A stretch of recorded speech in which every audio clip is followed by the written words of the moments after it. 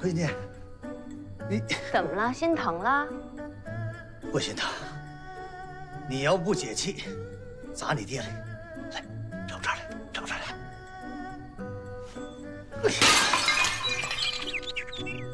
哎呦，闺女祖宗！哎呦，你可别动我这鸟啊！别动我这鸟！祖宗哎，小祖宗儿，那不能动，那是爹的命根子。现在知道害怕了。你跟刘墉合起伙来骗我的时候，你都想什么呢？我们没骗你啊，那是公差皇上的旨意，谁敢不听啊？那他也应该跟我说一声吧，这样就逃走了，这算怎么回事啊？跟他说没那么简单。对，没那么简单。我这就去追他，看他怎么给我个交代。哎呦，这不成！哎呦，这可不成啊！我这估摸着，姑爷现在早就离开了顺天府的地界了。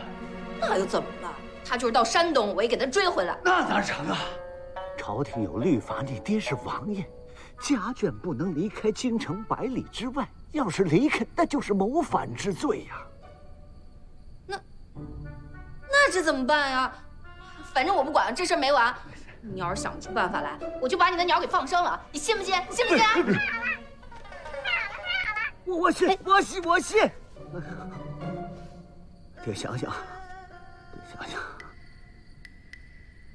我这么着，我去找皇上，行不行？这还差不多。